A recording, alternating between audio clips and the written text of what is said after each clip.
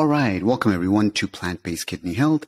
As always, I'm Dr. Sean Hashmi. My partner is Michele Crosmer. So excited to see everybody back. So Michele, today's question is, is can you please explain for us this concept of potential renal acid load from food? What is it? What does it mean?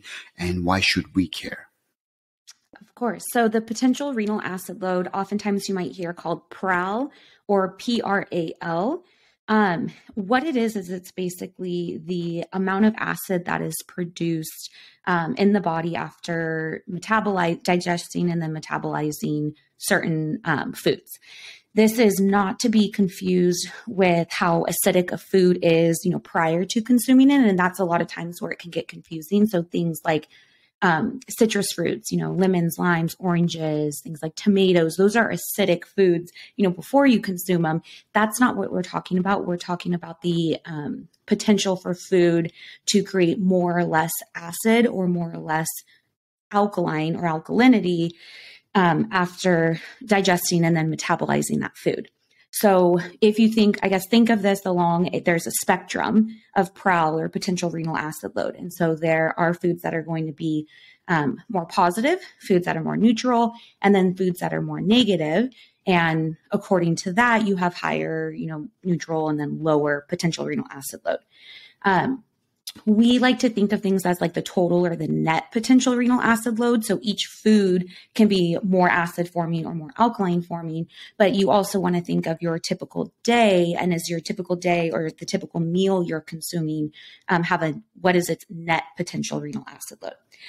So, how do we even calculate it? So, not that you guys need to be calculating it, but just to kind of explain, there's five nutrients that are used to determine the potential renal acid load of a food. So, it's protein, phosphorus, calcium, magnesium, and potassium. So, if you were to plug in, you know, your food and the nutrition information for that into the PRAL calculator or equation, that's really those five nutrients that are being looked at.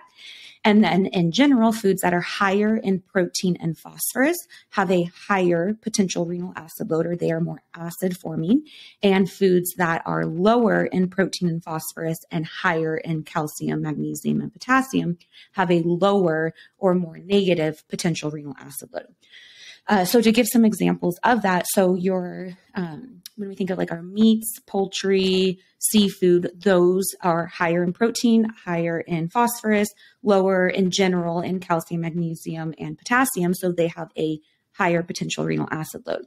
Um, some foods are more, they're moderately high or moderately positive, And that's usually where our eggs, dairy, and whole grains fall in.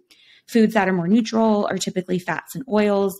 And then foods that are lower or negative are foods that are going to be lower in protein, lower in phosphorus, and then higher in calcium, magnesium, and potassium. And that's where um, legumes fall, but especially fruits and vegetables as being very alkaline producing or negative potential renal acid load.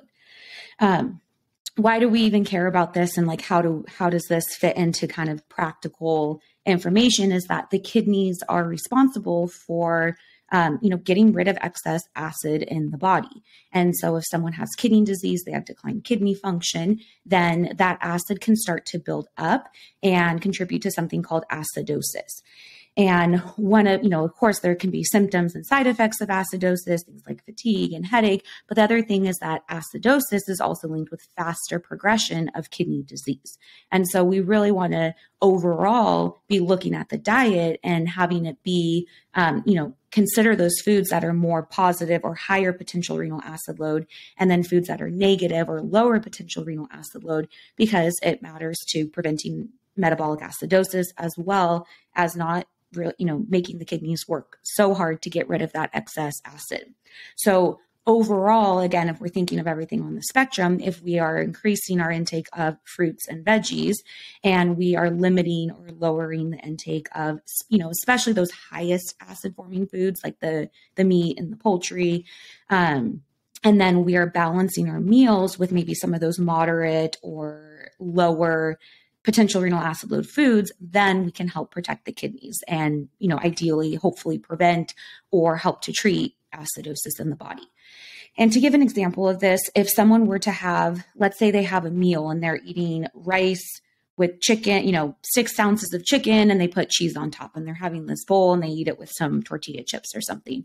You have very high and moderately high um, you know all positive potential renal acid load foods in that meal. So overall the net potential renal acid load is positive. It's more acid forming whereas you have that you know meal and you tweak it and you do your let's say your rice and you do it with a bunch of vegetables and then you have some legumes instead of the chicken, or you simply do a smaller portion of that chicken, then you can make the overall net pot- potential renal acid load of that meal um, be lower or ideally be negative. And so that's where, again, fruits, veggies um, are so, so important. And then the portion or swapping some of those animal proteins for the plant proteins, you know, the whole food plant proteins can help with making that potential renal acid load lower. Um, if you guys have questions beyond this, I you know try that it can be a very confusing topic. And again, the PRAL or potential renal acid load is just one part of diet and nutrition therapy that we look at, but um, it's something that's really important. And again, not that you necessarily need to be tracking it, it's kind of thinking overall of that spectrum of food and what do your meals look like and what does your day to day look like to try to get that to be a lower potential renal acid load. So drop your questions in the comment and we will see you guys next time.